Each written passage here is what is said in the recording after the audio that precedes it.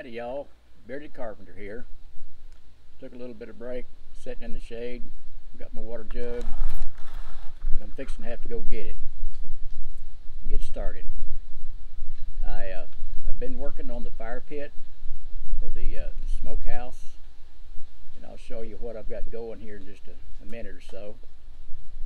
But uh, I want to thank all the new subscribers and those that make comments. Appreciate that.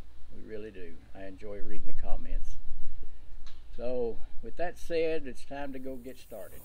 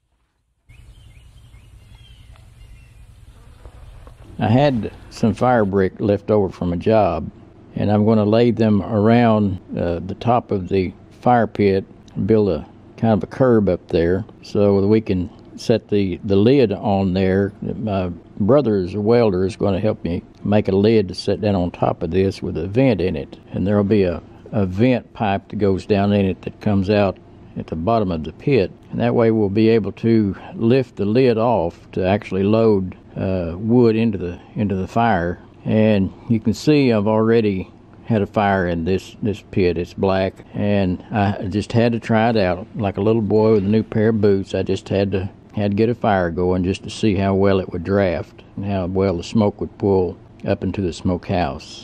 It actually worked pretty good, but I didn't feel like I had enough draft. So I went and got another two foot section of this black pipe and I put on top of that little short section that goes into the elbow that uh, the pipe actually turns up into the floor there. And after I did that, this thing really drew well. I had a, a fire in the pit and smoke was coming into the building really well and it was exhausting out. It really was boiling out of that. So I may have to do some adjustment on the draft so I don't get too much smoke, yet enough to put the flavor in the meat that we were, we're looking for.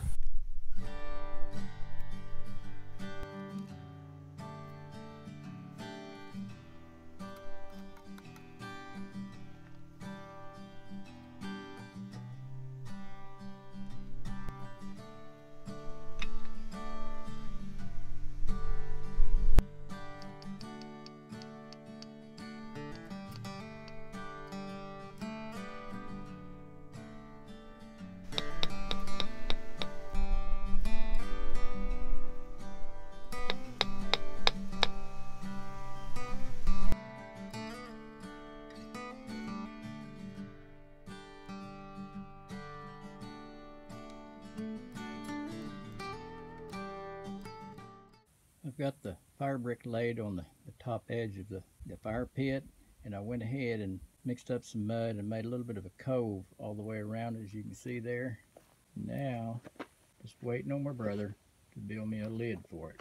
And then we should be in business as far as all of this fire pit, uh, chambers and every, the smoke chamber and everything to go through. Even covered part of it up with some dirt stuff I scraped up around here. We got the lid made and on the fire pit, my brother and I put our heads together and came up with this idea. He took a, a piece of pipe, this is two inches in the inside diameter, and he had a piece of metal that was perfect to go around it, and he welded it onto the pipe, put a kind of a, a spring-loaded flap or a, a damper adjustment type thing on there where it could be turned and allow the air float to go in or shut it off or whatever. But I can pick this up and take it completely out. And on the bottom, he cut a 45 degree angle so that the air will be coming out at the bottom of the fire pit and to feed the flames or the, the smoldering flames, I should say. And I was going to show you what we did. These two handles here were actually the clamps that I used on the, the axle to clamp the axle together. And he had a piece of flat metal, eighth of an inch thick. We put uh, some angle iron around there to keep from sliding around.